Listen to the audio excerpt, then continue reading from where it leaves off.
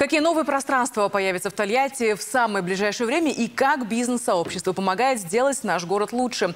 Об этом и многом другом поговорим сегодня. Это программа «Обозреватель мнения» в студии Яна Левина. И я приветствую нашего гостя Дениса Волкова, директора группы компании «Эковоз». Денис Александрович, здравствуйте. Здравствуйте.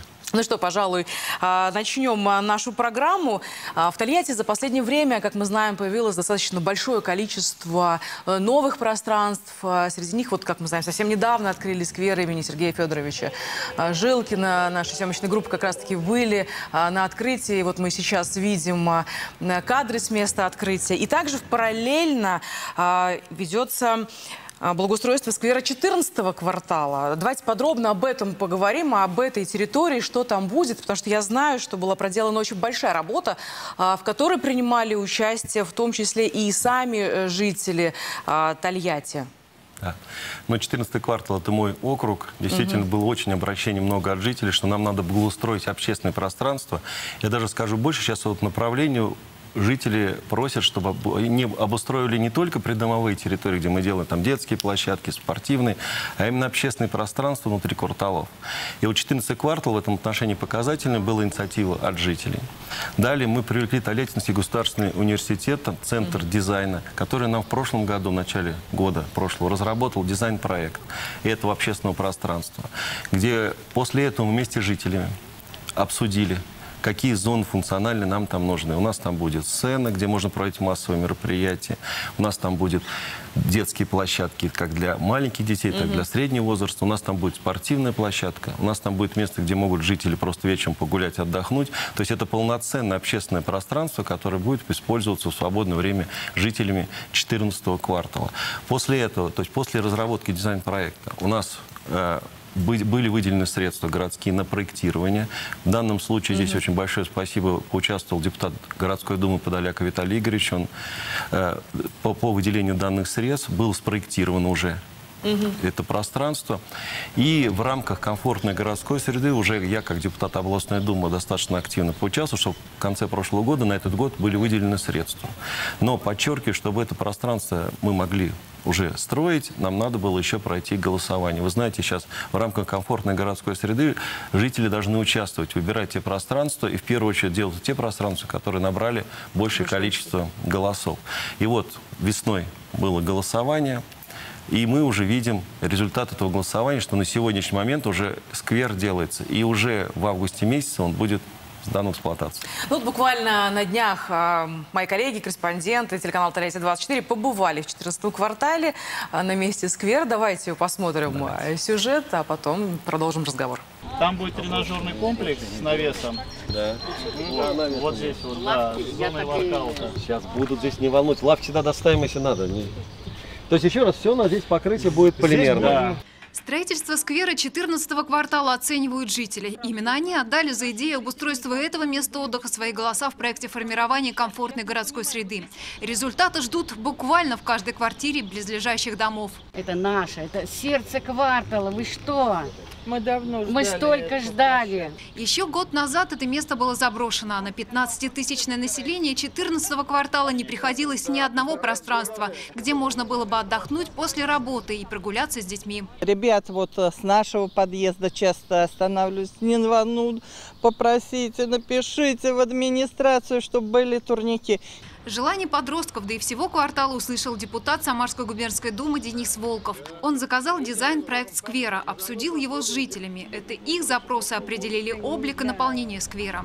Воркаут детская площадки, сцены и лавочки для отдыха, хорошее освещение и тротуары для прогулок. Благодаря совместной работе депутатского корпуса города Тольятти и а, благодаря а, работе Дениса Александровича Волкова удалось а, найти возможности а, чтобы нас услышали и в области, и в городе Тольятти администрация, и создать такие благоприятные условия для наших жителей. Народные избранники добились подготовки и включения проекта в программу формирования комфортной городской среды. Жители голосования за этот сквер. И за счет федеральных областных средств мы выделили сюда средства, 12 миллионов рублей. Здесь уже я активное участие принимал, чтобы деньги сюда попали. И вы видите, мы уже в этом году сквер готов. Срок сдачи объекта 1 сентября, но подрядчик работает с опережением графика. Праздничное открытие сквера намечают на начало августа.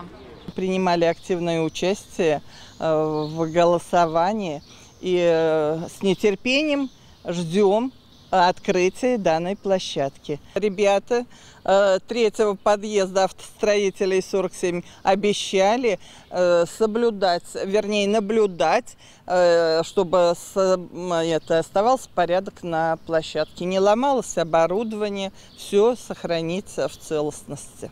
Учитывая, что у нас квартала, значит, ну, километр на километр, такие площадки необходимо нужны в каждом квартале автозаводского района ну, как минимум два таких участка. В этом году в рамках программы формирования комфортной городской среды планируется обновить шесть общественных пространств. Я в любом случае на своем округе инициирую дальнейший э, вот эти положительные опыты. У меня сейчас, мы обсуждаем проект сейчас девятого квартала, мы обсуждаем проект микрорайона Северный, это Льва Толстого. То есть мы будем пытаться благоустраивать не уже не придомовые территории, именно общественное пространство, там, где жители могут прийти вечером провести хорошо время.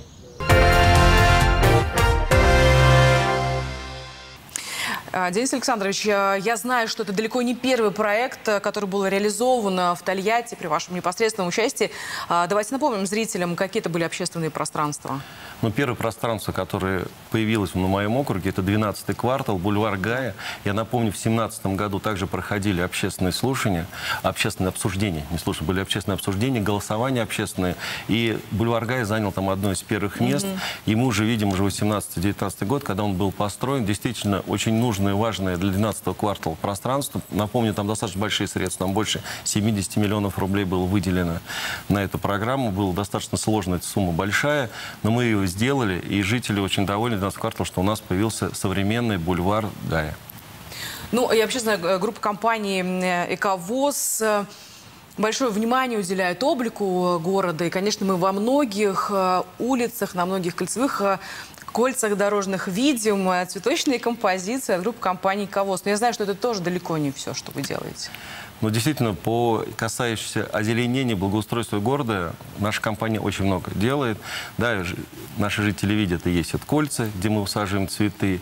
Мы ставим клумбы, высаживаем клумбы. Кроме этого, мы занимаемся озеленением как города, Э, так и восстановление леса. Напомню, что в этом году мы восстановили лес действительно активно. Там несколько тысяч человек пришло. Мы скупили больше 50 тысяч саженцев. Там больше 18 гектар было засажено. Всем спасибо, кто в этом участвовал. Да, мы как раз сейчас видим эти кадры с посадки леса. Да, да, кроме этого у нас есть программа, и мы за последние там пять лет больше, наверное, тысячи полторы деревьев высадили во дворах по заявкам жителей. И это очень важно, потому что озеленять город это нужно. Каждый, вот только в этом году 200 деревьев посадили. То есть каждый год достаточно активно увеличиваем заявки, от жителей они идут. При домовой территории у нас появляются новые зеленые насаждения. Я думаю, это очень хорошо и нужно для нашего города. Но мы не говорим о наших экологических мероприятиях, которые там работа со школами, где мы внедряем раздельные сборы. У нас, вы видите, экомобиль ездит по городу, который собирает опасные отходы и вторсырье. Это наша постоянная работа. Я думаю, жители это видят, оценят. Да, да, безусловно, даже а, мы, наша редакция, уж раскрою секреты, тоже собираем крышечки да, пластиковые, да. которые потом, в общем-то, передаем на хорошие, благие э, дела, на реализацию проектов. А, вернемся к новым пространствам, к обсуждению, вернее, этих пространств. А, как мы уже сказали, молодежь сегодня тоже принимает активное участие в создании облика, что, конечно, безусловно, не может нас не радовать. Речь идет о студентах Тольяттинского госуниверситета. Э, наши корреспонденты пообщались со студентами. Давайте сейчас их послушаем мы дальше вернемся. Я и предложила больше не от картинки уходить, а от пожелания жителей, что они хотят видеть. Ну, чтобы не было потом, как вот сделают красиво, и никто там не гуляет, никто этим не пользуется. И здесь, то есть наоборот, э, почему сейчас еще раз будет встреча с жителями, то есть показать уже, к чему мы пришли, э, еще раз, э, чтобы они почувствовали свое участие в этом. Очень важна эта составляющая взаимосвязь так называемое соучастное проектирование, когда в проектировании участвуют и жители, и исполнители. Когда мы включаем молодежь, студентов в эти работы, мы еще эту составляющую как бы учитываем. Остают, во-первых, вырастают специалисты, которые работают в этих проектах, да, и понимают важность э, ну, их профессионального назначения. И во-вторых, кроме этого роста, мы еще пытаемся тем самым привязать их в кавычках к своей родине. А есть ли у вас уже совместные планы э, с тольяттинской молодежью? Да, мы хотим дальше продолжать это общественное пространство. У меня есть еще на округе другие кварталы, где у нас еще не благоустроены эти территории. Mm -hmm. И вот сейчас мы вместе с Тольяттинским государственным университетом, Центром дизайна, начинаем разработку или разработать уже концепцию еще двух пространств. Это бульвар Туполева 9 квартала. И мы буквально в ближайшие дни будем жителями обсуждать, вот как в 14 квартале, так же 9 будем mm -hmm. обсуждать, как, что мы там хотим увидеть.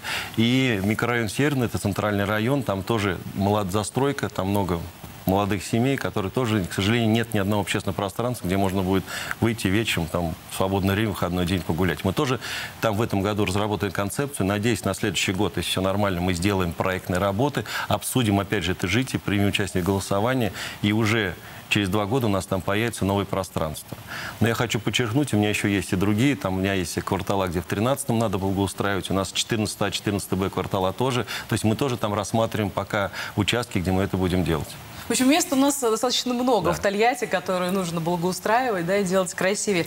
Ну, вообще в этом году в рамках а, программы формирования комфортной городской среды, как мы знаем, а, будет обновлено 6 общественных пространств и 27 дворов. Мне кажется, ну, достаточно такие неплохие цифры. Ну, хотелось бы больше. Ну, хотелось бы больше, безусловно. Хотелось бы больше, да. Ну, в рамках тех денег, которые нам выделяет, я подчеркиваю, это федеральная программа, выделяются федеральные деньги, финансируются областными деньгами.